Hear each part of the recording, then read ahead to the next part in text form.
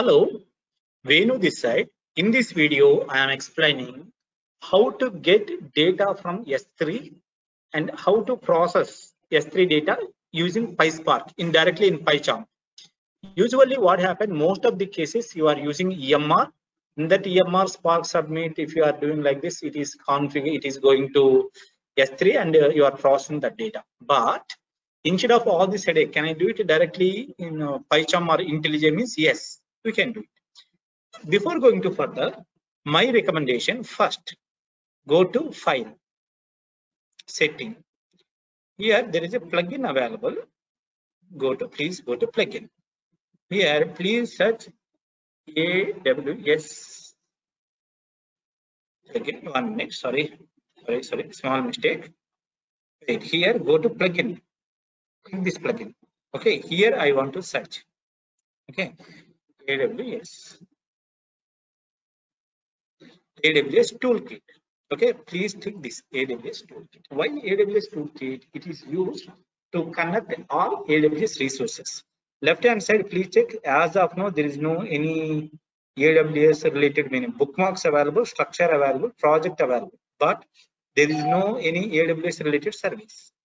Now, please click this restart. Okay.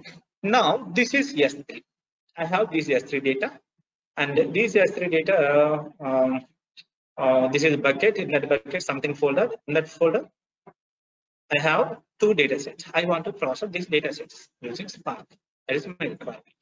Now, if you open this PyCharm, what happened? Left hand side, earlier you don't have this AWS Explorer. Now you got it. Why? Just now you installed something plugin. Click that plugin. If you are doing first time, okay, where is your uh, region? I think you are from, if you are India, choose Mumbai region. Okay, now here there is no your credentials. That's why please click here or click here. Anything it's fine. This is first step. What is this meaning? I want to create AWS IAM keys. IAM keys. Here I want to use, here I want to use. That's why first step. I think you have AWS account. Please go to your AWS IAM. Go to this. i The main reason IAM only king to allocate all these resources. Okay. Uh, now go to this IAM and uh, create one managers group. In that manage any group is fine. Okay. Here RDS full privileges you have. If I want to explain depth information about this IAM, maybe it will take little time. Okay. Or please follow my previous video. Okay. Uh, somewhere I explained, I think. Okay. Now, yes, three full. S3 full. So I am granting full permissions. So now I can access RDS S3 full privileges. Who is in this managers group? So now I am any users available. If not, create your own user. For example, uh, 57 days back created all these things. So I'm creating one more user. Okay, that example. Okay, now access, etc., etc.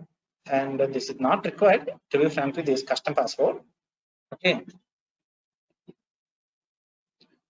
that's it. And uh, okay.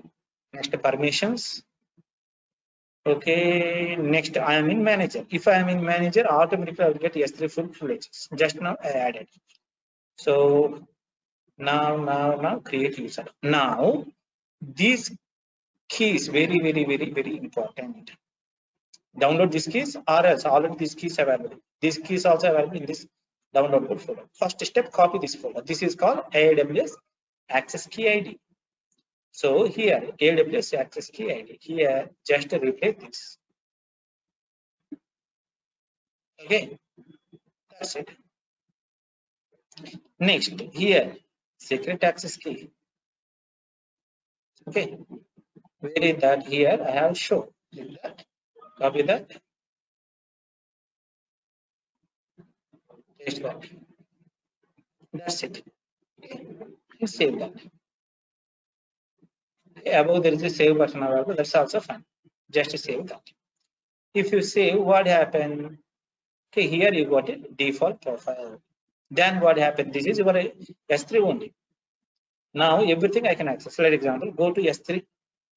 Now go to this Malli. Otherwise, refresh. If you click, go to input. In that input data, I have these two. Of course, in this in this S3 also I have seen. This is in that S3 input, have these two. Why you granted full privileges? That's why. Okay. So you are able to read everything from AWS. Why with the help of this small plugin and with the help of these IAM keys. Okay. Next, I want to read data from S3 and I want to process this data. Usually, if you are using EMR, what happen? EMR that is by default available, by default automatically communicating with S3.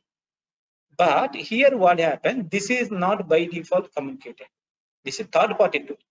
At that time, you must have you must add different different type of dependencies. Without dependencies, I think it's not possible to connect. That's why first step, go, all these dependencies where it is available, go to MVN repository.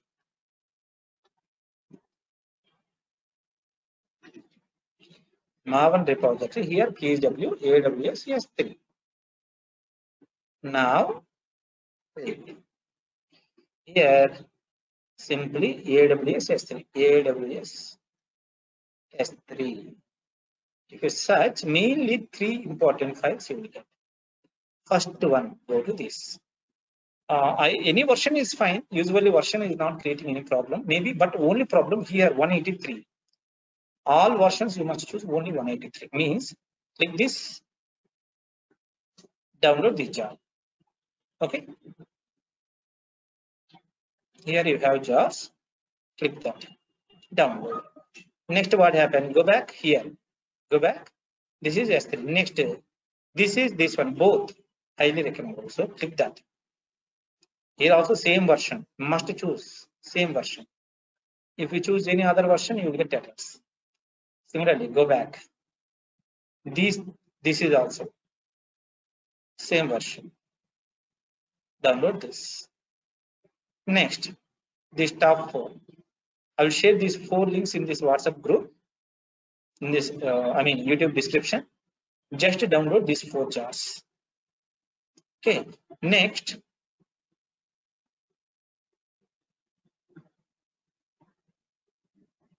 next where is these four jars available? These four jars, first copy and place in Spark folder.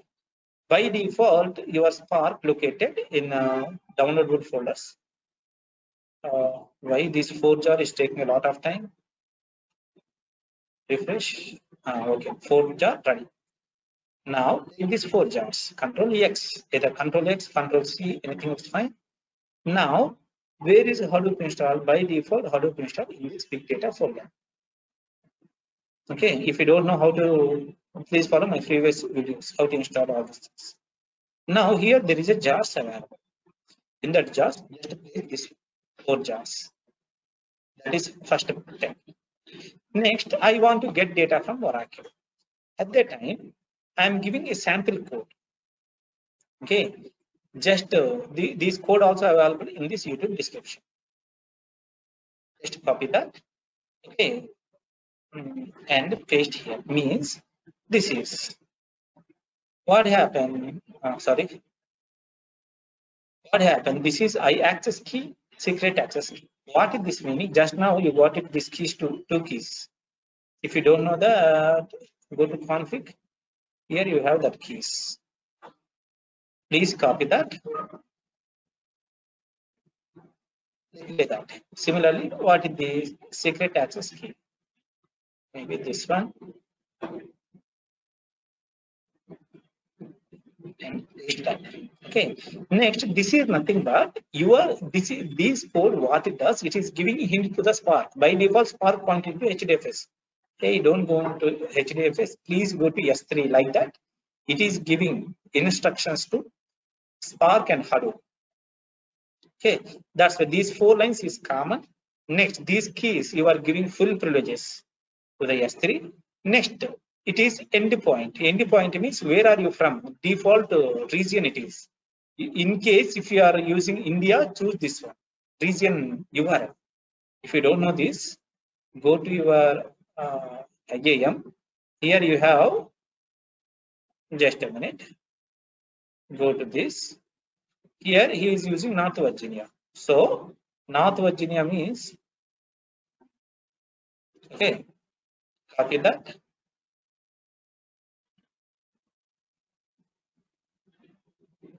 Just a minute. Want to check? Yes, where it is located. Okay.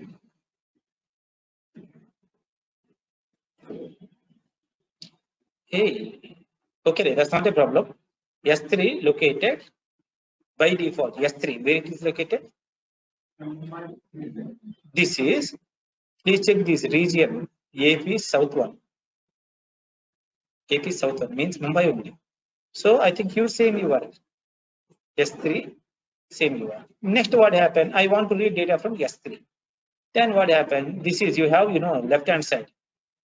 Left hand side here, go to Mali.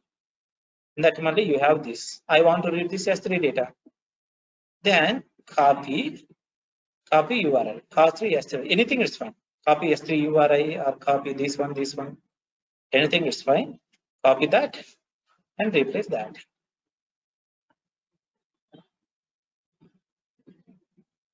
Hmm. Okay, replace that. That's it. Now I think uh, all the syntax you know that how to read S3 data, all these things. Okay, just read the data and display that. Okay, if you have full privileges, then what happen? You will get. Okay, don't worry. Starting time there is a small warnings. What is this meaning? Hadoop Windows is not Hadoop not install this. That is not a creating problem. Don't worry about that. Now this is you dep- commonly you will get errors. That's common. First of all, what is this? PY, this one means maybe class not found exception. What is this meaning? Hadoop FS S3 means one more important dependencies by default where it is available. Here also im- uh, very very important. Okay, go to you. You already installed Hadoop. You know, go to Hadoop. In that Hadoop share you have. In that share something Hadoop Hadoop tools I think. Hadoop tools. Is there any Hadoop AWS? Ah, this one. In this path, Hadoop AWS. You must use same uh, thing. Otherwise, you will get error. Okay. So copy that. This one only. how Hadoop AWS. Of course, if you Google it in the MVN repository, that is also available. That's not a problem. Copy this. Place in that Spark folder. That is a small uh, connector between Hadoop and Spark. So copy that. That is also please paste in this jar. Okay. Uh, maybe sometime you will get a common error also. Okay, this is that meaning. Class not found get error anywhere if you get this means that is 90 percent is something dependency issue. That is that meaning. Okay. Next, the starting warning please ignore. That's not creating any problem. Second one, still if you are getting, sometime you will get common Hadoop common error. I think. If you are not getting, that's okay. If you get, at the time you must add one more dependency also.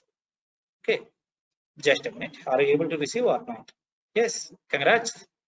You are able to receive. Sometimes still if you are unable to receive means my recommendation go to this uh, go back. Mm, not here Hadoop. Sometime you will get a Hadoop class if you are using old version maybe Hadoop 2.7 at the time uh, maybe Hadoop. Here there is a common go to this common, copy these uh, three jars, especially these jar enough 90 percentage. Copy this jar, place in the Spark folder. At that time, that is also working fine. So now what happened? These data you are able to read this data from S3. This this data already available in S3, so you are able to read. Okay, easy, you know. But one more important thing: if you if you without without proper experience, don't use uh, like this. Why? AWS uh, yes. Free, free. What happened? S3 5 GB free. Okay, that's 100% correct. Problem is, problem is, it is only, okay, wait, AWS free type. Now, go to, this is AWS. Here, please note, what is the limitation? 20,000 foot uh, 2000 foot and 20000 get request only free that means get means you are reading data from s3 25000 20000 times you can read. 2000 times you can push push this data in s3 that is also you can do it. But the problem is if you in, if you cross this limitation most frequently right click run right click run what happened automatically this io hits increased. So uh, at the time automatically this put get and request is increase at the time if it is crossing these 2000 limitation 20000 limitation 100 percent you get bill please be careful. Okay. So in that way you can easily read this data you can easily process this data like this. Okay. So i'm sharing this code. This code also available in this youtube description. And if you have if you have any doubts please comment below. I will uh, try my best. Here only thing change this ip number add this dependency. That's it. Okay if you have any doubts please comment below. I will try my best to answer. Okay. Thank you. Thank you very much